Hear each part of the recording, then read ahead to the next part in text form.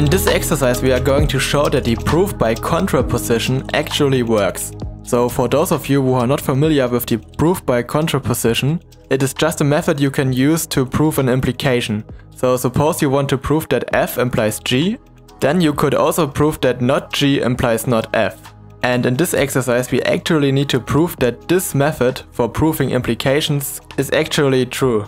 So what we actually want to show is that f implies g is a logical consequence of not g implying not f.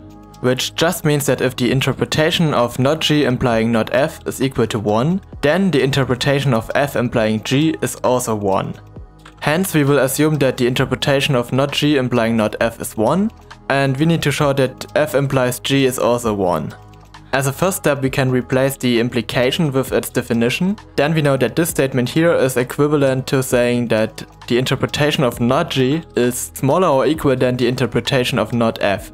For the next step we need to know that any interpretation of a negated statement is equal to 1 minus the interpretation of the statement not negated.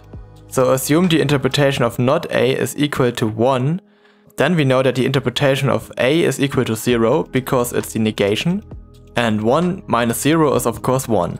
Likewise, if the interpretation of not a is equal to 0, then we know that the interpretation of a has to be equal to 1, and therefore 1 minus 1 is 0. So we can say that 1 minus the interpretation of g is smaller or equal than 1 minus the interpretation of f. But now we somehow need to get rid of those 1s and therefore we will start by putting this statement here to the right side of our equation by adding it to both sides then we will pull negative i beta of f to the left side of the inequality by adding it to both sides.